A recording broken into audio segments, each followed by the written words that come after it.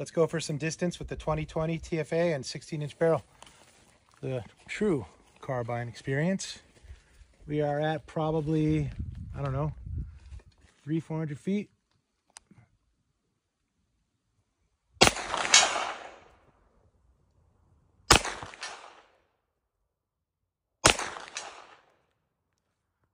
That's three hits. These are available at recovertactical.com.